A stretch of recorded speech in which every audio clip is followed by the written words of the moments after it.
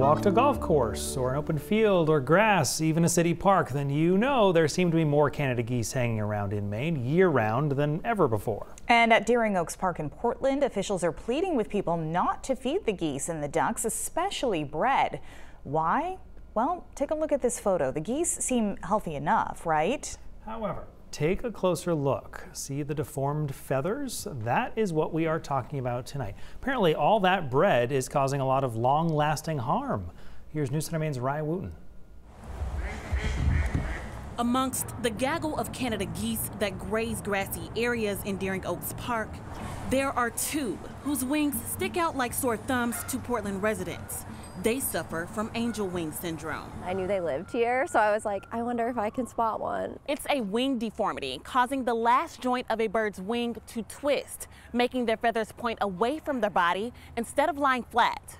These deformities exist because of an excess of carbohydrates, an excess of protein. Diet, even for geese, matters. One thing that absolutely should not be in a geese, ducks, or other waterfowl animal's diet is bread. I don't know who originally first started saying let's feed the stale bread to the ducks, but to this day it's just something you do. When waterfowl consume excess carbs, their flight feathers grow rapidly. And when the flight feathers grow faster than the underlying wing structure, the feathers get heavy.